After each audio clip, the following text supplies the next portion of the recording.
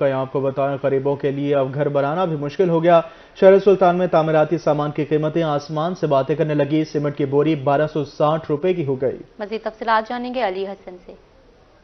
तामीराती सामान महँगा होने से जो शहरी हैं उनको अब घर बनाना उनको एक ख्वाब नज़र आ रहा है। सरिये के रेट में इजाफा हो चुका है और सीमेंट के रेट में भी इजाफा हो चुका है। शहरीों को यही कहना था कि रोज़ बरोज़ महँगाई है जो बढ़ती जा रही है।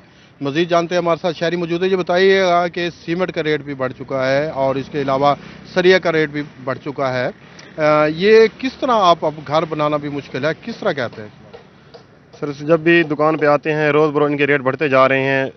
मतलब कि पहले तो लोग, हम आते थे लेने के लिए चीज़ें तो एक महीना पहले इसका रेट था बारह सौ रुपये आज सीमेंट का रेट लेने हैं सीमेंट लेने तो उसका रेट है बारह सौ साठ रुपये सरिये का रेट पहले पूछा था, उसका रेट था दो सौ पंद्रह रुपये किलो, अब रेट है दो सौ चालीस रुपये किलो। रोज़ बरोज़ महँगाई बढ़ती जा रही है। हम तो घर भी नहीं बना सकते, एक छपरा भी नहीं बना सकते वाशरूम तक भी नहीं बनवा सकते। महँगाई इतनी बढ़ गई है।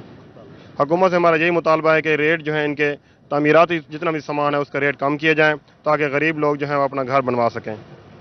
हाँ जी बिल्कुल आपने शहरीों से जाना उनका यही कहना था कि हमारा हुकूमत से यही मुतालबा है कि जो तमीराती सामान है उनके रेटों में कमी लाए लाई जाए ताकि हम अपना घर तो बना सकें। तफसीत के लिए।